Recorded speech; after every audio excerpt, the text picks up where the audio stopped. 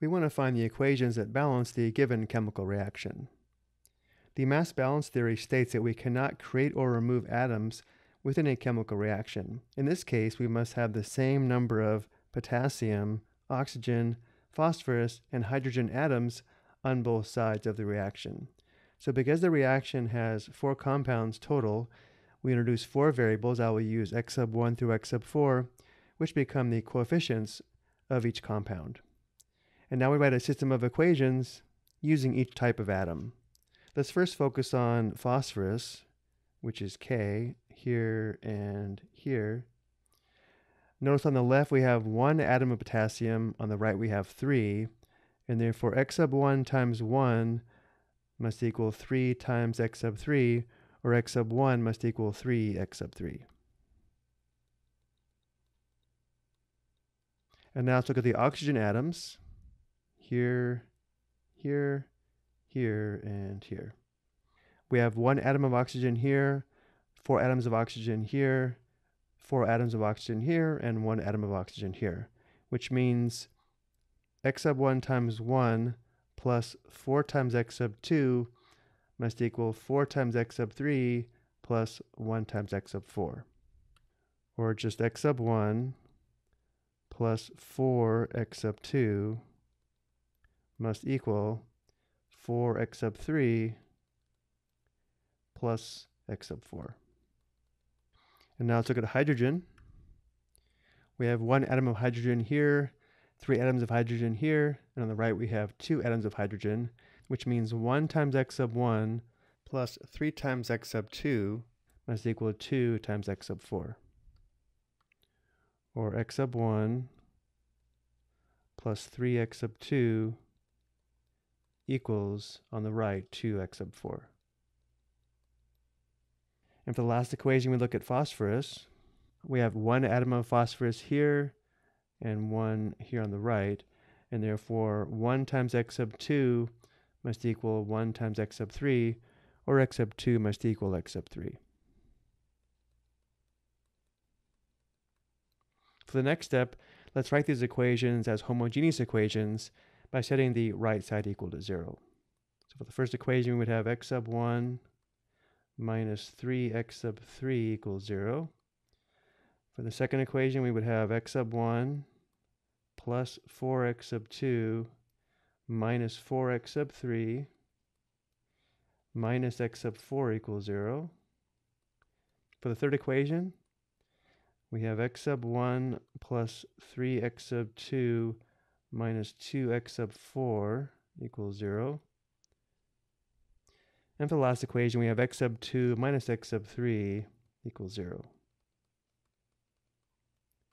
And now we write the system of equations as an augmented matrix. Because we have four equations with four unknowns, we will have a 4 by 5 augmented matrix, where each equation will give us one row in the augmented matrix. Column 1 will be the coefficients of x sub 1, the second column will be the coefficients of x sub 2, and so on. The fifth column will be the constants, which in this case are all 0. So the first equation gives us the row of 1, 0, negative 3, 0, 0.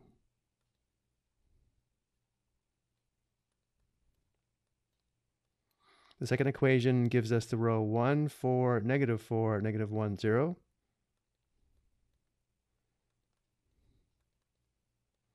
The third equation gives us the row 1, 3, 0, negative 2, 0.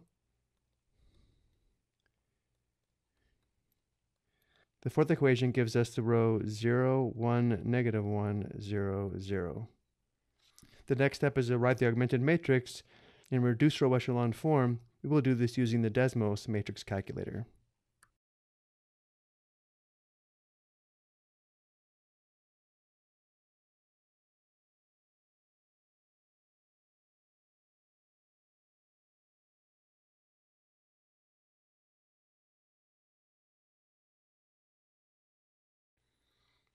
Now we click RREF for reduced row echelon form, select matrix A and enter. On the right, let's use the convert to fraction button. And let's go ahead and record the augmented matrix in reduced row echelon form.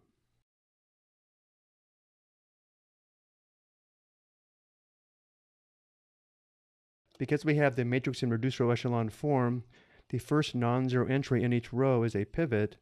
The pivots are here, here, and here, and therefore we know the basic variables or leading variables are x sub 1, x sub 2, and x sub 3, and x sub 4 is a free variable. From here we'll use each row and write the corresponding equation. Looking at row 1, x sub 1 minus x sub 4 is equal to 0.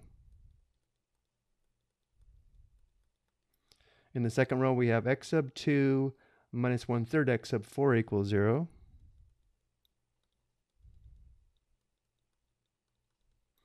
In the third row, we have x sub 3 minus 1 third x sub 4 equals 0. And the fourth row is all zeros, so we don't have an equation here. But we do know x sub 4 is a free variable. Let's let x sub 4 equal x sub 4. Also, because x sub 4 is a free variable, let's solve x sub 1, x sub 2, and x sub 3 in terms of x sub 4. In the first equation, we have x sub 1 equals x sub 4. In the second equation, we have x sub 2 equals 1 third x sub 4. In the third equation, we have x sub 3 equals 1 third x sub 4. And we already know x sub 4 can be anything, x sub 4 equals x sub 4. So all these equations must be true in order for the chemical reaction to be balanced. Because x sub 4 is a free variable, we often introduce a parameter, let's say t, and write all these equations in terms of t. So to parameterize the equations, we let x sub 4 equal t. If x sub 4 is equal to t, then x sub 1 is also equal to t.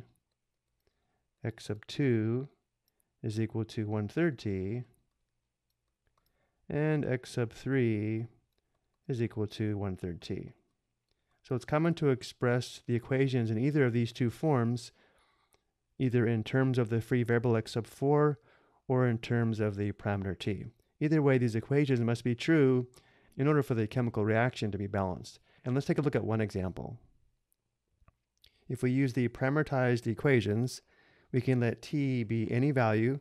Let's let t equal 3 if t is 3, then x sub 1 is 3, x sub 2 is 1, x sub 3 is 1, and x sub 4 is 3.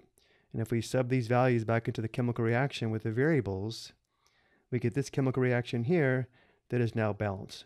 Let's just verify that it is balanced by checking the number of atoms of potassium, oxygen, phosphorus, and hydrogen.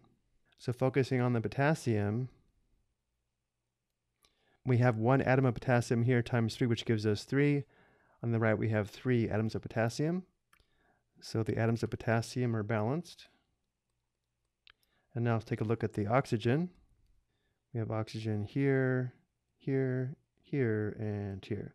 So on the left, we have 3 times 1 atom of oxygen, that's 3, plus 1 times 4 atoms of oxygen. We have 7 atoms of oxygen on the left. On the right, we have 4 times 1 plus 1 times 3, which is also 7. And now let's look at the phosphorus, which is here and here. We have 1 times 1 atom of phosphorus, which is 1. And on the right, we also have 1 times 1 atom of phosphorus. And then finally, let's look at hydrogen.